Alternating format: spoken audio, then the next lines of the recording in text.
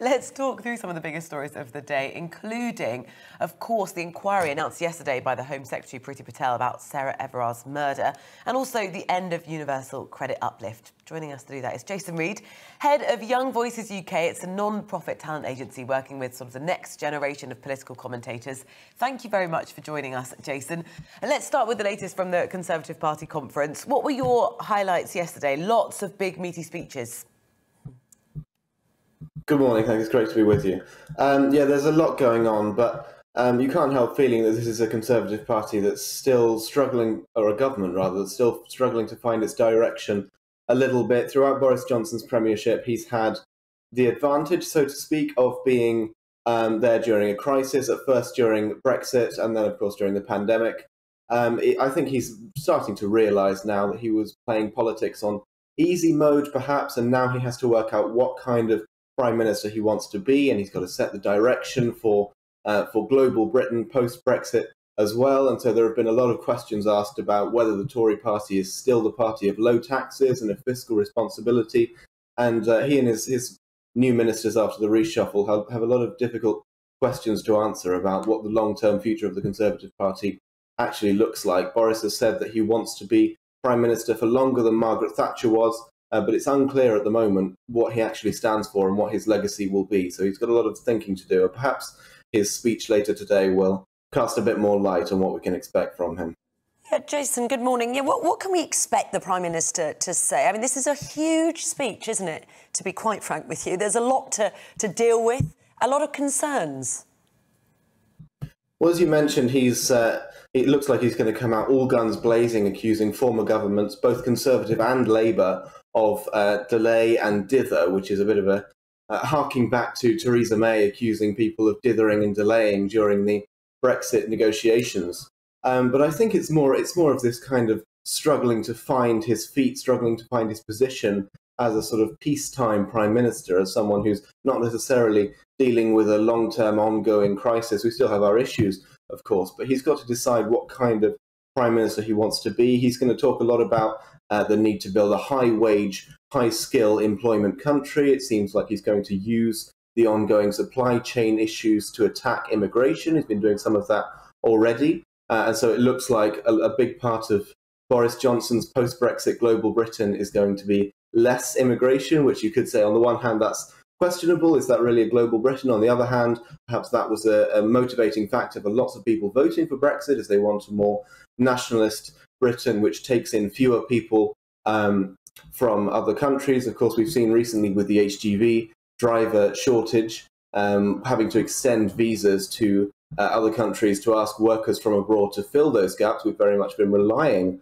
on immigration. So it'll be interesting to see how Boris Johnson uh, skirts around that and what kind of note he tries to strike. And I think this debate around tax rises is really important as well. There's a lot of discontent among the conservative members and grassroots about the direction in terms of economic policy that this government is taking. The Conservative Party, of course, is supposed to be the party of uh, low taxes and uh, a smaller state, and a lot of people feeling betrayed by the recent announcement of a national insurance rise and the looming spectre of possible other tax rises as well. And of course, you mentioned the front page of the Times with the possible minimum wage increase and all sorts of other possible uh, economic intervention coming down the road uh, from this Tory party. So a lots still unclear about what this government is actually intending to do in the next few years.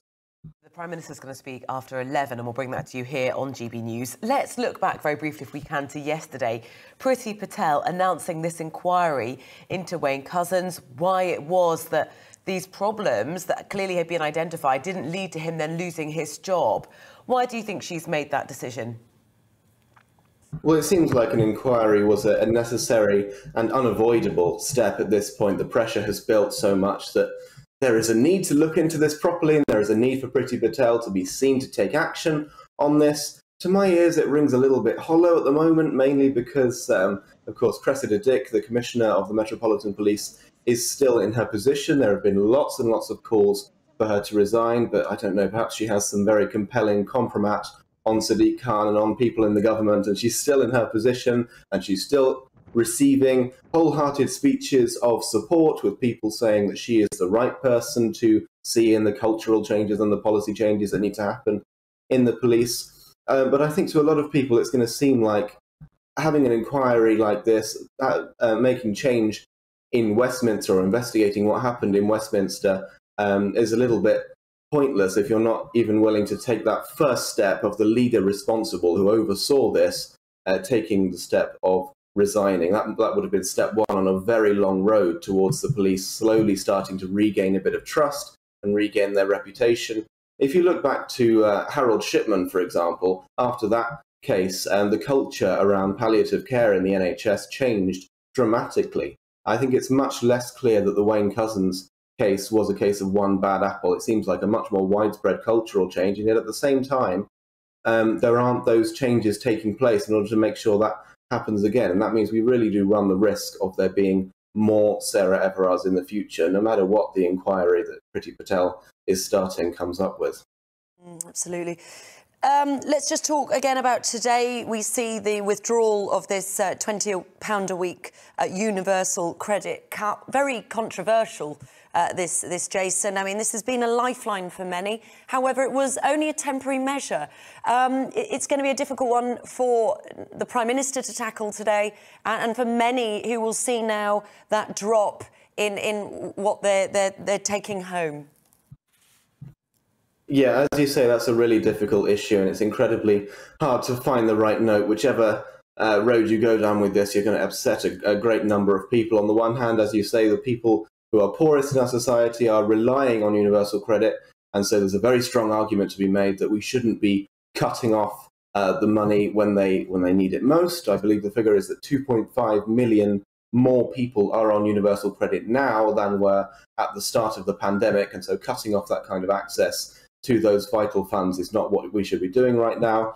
Um, it's going to cost, I believe, around six billion pounds a year to maintain. If we were to maintain that twenty pound uplift, and meanwhile we're able to spend uh, hundred billion pounds on HS2, for example, and so it seems like a small amount of money to improve people's lives so much. At the same time, we have a huge COVID bill already. Someone's going to have to pay off the COVID debt, whether that's uh, our children, our grandchildren, our great grandchildren.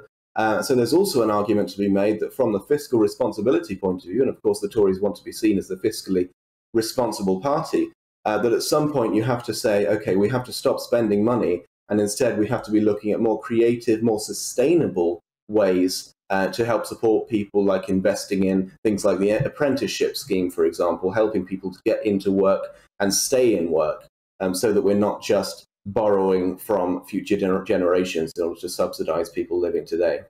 And just very quickly and finally, so we're hearing from Boris Johnson today. That is the, the, the big speech. We're also going to hear from Nadhim Zahawi, the former vaccine minister, on the great British vaccine success. What can we expect? A sort of celebration of the rollout?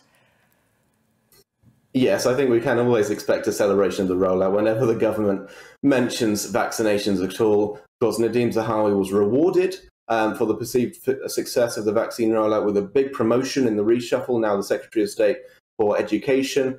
Um, I expect then we might hear something more on the issue of, of vaccine passports, although the government seems to contradict itself on that issue all the time. They're definitely coming in, they're not coming in at all. Now they're just plan B. Um, so there might be a little bit more confusion perhaps on that, um, but we'll have to wait and see what he said. But we can, we can very much rely on the fact that there will be a lot of bigging up of the success of the vaccine rollout and the, the role that Britain can play going forward in donating vaccines to other countries and helping uh, other countries around the world to come out the other end of the pandemic. Jason Reed, thank you very much, head of Young Voices UK. And speaking of